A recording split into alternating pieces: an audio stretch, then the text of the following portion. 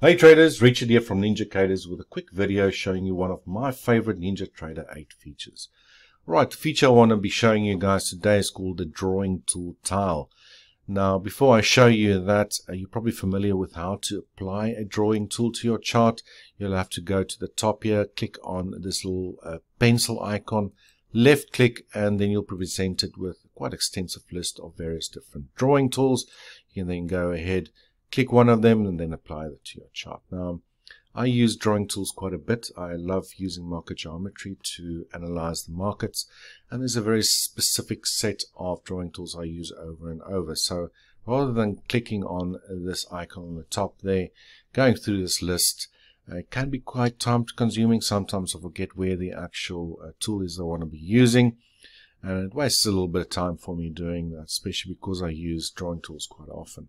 Now the other way you can do this is click on your chart, right click, head on over to indicators. So although this is a drawing tool feature, it is applied as an actual indicator. Then you go under your indicator window, under your available column, you scroll down until you find the drawing tool tile window. You can go ahead, double click on that, and then it will add it to the configured window in the bottom here. And on the right hand side under the properties, you have all the different parameters that you can go change around as well as the actual drawing tools that you can select uh, that you want to feature within the drawing tool tile. Now I'll go through this again. I'm just going to quickly uh, click OK. You see here it is applied already. Now all of those selected drawing tools that was available in the configuration window um, for me personally are these tools that I love using include just normal lines, uh, trend lines, rays, uh, could be arrows, fib extensions, retracements, uh, pitchforks, and channels, and so forth. So anyway, you can basically go and select any of those tools that's also included in this list, and it will appear in that window. So again, let's quickly head over to the configuration window and if you go to the right hand side here, you see I've got my rows set to 10. Now, if I to change that to 5, you'll see it'll make it a bit more squarer. So these rows basically just refer to the amount of rows from top to bottom. 1, 2, 3, 4, 5. By default, I think it's set to 5. I like mine to be 10. And basically makes it a bit more skinnier on the left hand side so it doesn't take too much of my chart space away. All right.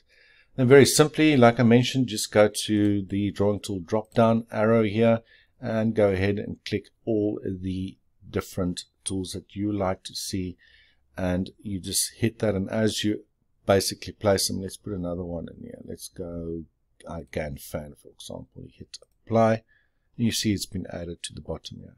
Right. I don't use that too often, so I can just unclick it, apply, and it'll disappear.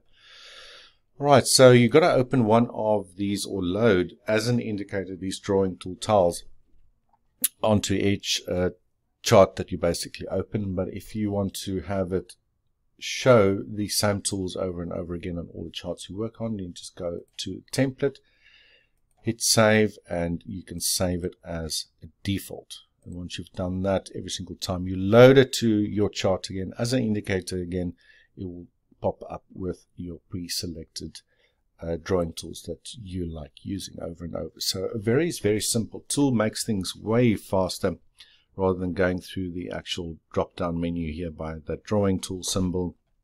You can drag it around wherever you want it on your chart. And again, just uh, basically hit it, start drawing.